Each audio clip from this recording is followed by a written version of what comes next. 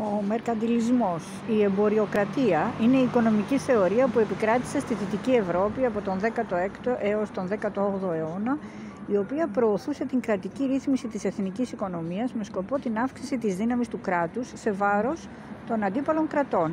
Στηρίζεται σε μια εθνική οικονομική πολιτική, η οποία στοχεύει στην αύξηση των χρηματικών αποθεμάτων μέσα από ένα ισοζύγιο στο εμπόριο, ειδικά των έτοιμων προϊόντων, καμεραλισμός ή η κυρίαρχη οικονομική θεωρία στη Γερμανία του 18ου αιώνα, η οποία προωθούσε ως ακραία μορφή του μερκαντιλισμού την υποταγή όλων των πενδύων της οικονομίας και της πολιτικής στο κράτος και την γραφειοκρατία του.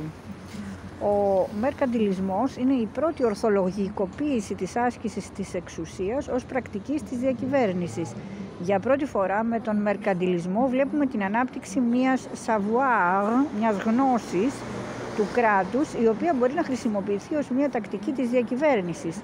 Όλα αυτά μπορεί να αληθεύουν, αλλά ο μερκαντιλισμός αναχαιτίστηκε και ανακόπηκε, πιστεύω, ακριβώς από το γεγονός ότι θεώρησε την ισχύ του κυρίαρχου ως αντικειμενικό του στόχο. Αναζήτησε έναν τρόπο όχι τόσο να αυξήσει τον πλούτο της χώρας, αλλά να επιτρέψει στον άρχοντα να συσσωρεύσει πλούτο, να χτίσει το θησαυροφυλάκιό του και να δημιουργήσει τον στρατό με τον οποίο θα μπορούσε να υλοποιήσει τις πολιτικές του και τα όργανα του μερκαντιλισμού ήταν οι νόμοι, τα διατάγματα, οι κανονισμοί, δηλαδή τα παραδοσιακά όπλα της κυριαρχίας. Ο στόχος ήταν η ισχύς του κυρίαρχου.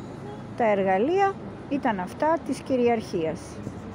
Ο μερκαντιλισμός επιχείρησε να επανεγγράψει τις δυνατότητες που δημιουργήθηκαν από μια συνειδητή σύλληψη της τέχνης της διακυβέρνησης σε μια νοητική και θεσμική δομή αυτήν της κυριαρχίας η οποία από την ίδια της τη φύση της κατέπνιξε.